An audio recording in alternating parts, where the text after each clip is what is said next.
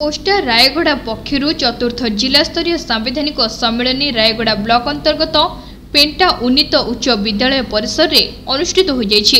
ଏହି ସମ୍ମିଳନୀରେ ଓଷ୍ଟା ରାଜ୍ୟ ସାଧାରଣ ସମ୍ପାଦକ ପ୍ରକାଶ ଚନ୍ଦ୍ର ମହାନ୍ତି ଯୁଗ୍ମ ସାଧାରଣ ସମ୍ପାଦକ ରଞ୍ଜନ କୁମାର ଦାସ କୋଷାଧ୍ୟକ୍ଷ ଅଶୋକ କୁମାର ମହାପାତ୍ର ଓ ଶିକ୍ଷା ପ୍ରଦୀପର ସମ୍ପାଦକ ଶଙ୍କର କୁମାର ସୁବୋଧି ଅତିଥି ଭାବରେ ଯୋଗ ଦେଇଥିଲେ। ଅନୁଷ୍ଠିତ ସମ୍ମିଳନୀରେ ବିଦାୟୀ ଜିଲ୍ଲା ସଭାପତି ପ୍ରମୋଦ କୁମାର ପରିଡ଼ା ସଭାପତିତ୍ୱ କରିଥିବା ବେଳେ ପେଣ୍ଟା ଉନ୍ନୀତ ଉଚ୍ଚ ବିଦ୍ୟାଳୟର ପ୍ରଧାନ ଶିକ୍ଷକ ଏସ୍ ଆଶାଲତା ଅତିଥିମାନଙ୍କ ପରିଚୟ ପ୍ରଦାନ କରିଥିଲେ। ପୂର୍ବତନ ସମ୍ପାଦକ ପ୍ରଶାନ୍ତ ବେଜ ବିବରଣୀ ପାଠ କରିଥିଲେ। ଏହି ଅବସରରେ ରାୟଗଡ଼ା ଜିଲ୍ଲାର ଓଷ୍ଟା ନୂତନ କାର୍ଯ୍ୟକାରିଣୀ ଗଠନ କରାଯାଇଥିଲା। ଓଷ୍ଟା ଜିଲ୍ଲା ସଭାପତି ଭାବେ ଲୋକନାଥପୁର ଉଚ୍ଚ ବିଦ୍ୟାଳୟର ଶିକ୍ଷକ ଅନିଲ କୁମାର ପୁରୋହିତ ନିର୍ବାଚିତ ହୋଇଥିବା ବେଳେ ଉତ୍କଳ ଖଦିମଣ୍ଡଳ ଉଚ୍ଚ ବିଦ୍ୟାପୀଠର ଶିକ୍ଷକ ପ୍ରଶାନ୍ତ କୁମାର ରଥ ସମ୍ପାଦକ ଭାବରେ ନିର୍ବାଚିତ ହୋଇଥିଲେ। ଉପସଭାପତି ଭାବେ ଶିକ୍ଷୟିତ୍ରୀ ଏସ୍. ଆଶାଲତା ଧନ୍ୱନ୍ତରୀ ଉଚ୍ଚ ବିଦ୍ୟାଳୟର ଶିକ୍ଷକ ରବୀନ୍ଦ୍ର କୁମାର ପଣ୍ଡିତ କଳିଙ୍ଗ ଉଚ୍ଚ ବିଦ୍ୟାପୀଠର ଶିକ୍ଷକ ମହେଶ କୁମାର ପଟ୍ଟନାୟକ ଦାୟିତ୍ୱ ଗ୍ରହଣ କରିଥିଲେ।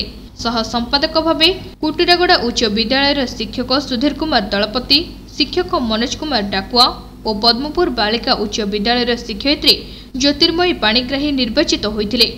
ଜିଲ୍ଲା କାର୍ଯ୍ୟକାରୀ ସଦସ୍ୟ ଭାବେ ଶିକ୍ଷକ ଜ୍ଞାନେନ୍ଦ୍ର ଜେନା ରବୀନ୍ଦ୍ର କୁମାର ନାୟକ ରଞ୍ଜିତ କୁମାର ଗୌଡ଼ ଘାସିରାମ ରଥ ଦାୟିତ୍ୱ ଗ୍ରହଣ କରିଥିଲେ। ପ୍ରଧାନ ଶିକ୍ଷକ ବିଜୟ କୁମାର ନାୟକ ରାଜ୍ୟ କାର୍ଯ୍ୟକାରିଣୀ ସଦସ୍ୟ ଭାବେ ନିର୍ବାଚିତ ହୋଇଥିଲେ।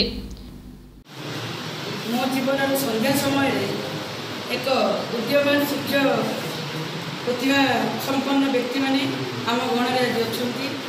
ସୋ ତାଙ୍କର ଆମେ ଅନୁଗାମୀ ହେଇ ଅନୁପ୍ରାଣିତ ହୋଇ ଆଗେଇ ଯିବା।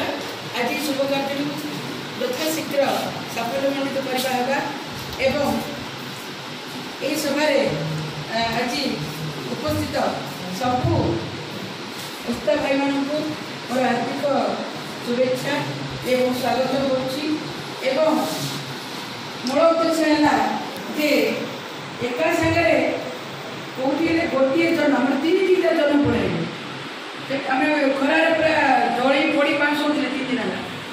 ଯାହାମାନେ ପାଞ୍ଚଟା ପଇଁଚାଳିଶ ଷ୍ଟେସନରେ ଗୋଡ଼ରେ ଗୋଡ଼ ଦେଇଛନ୍ତି ସାଙ୍ଗେ ସାଙ୍ଗେ ବସ ଷ୍ଟାର୍ଟ ହେଲା।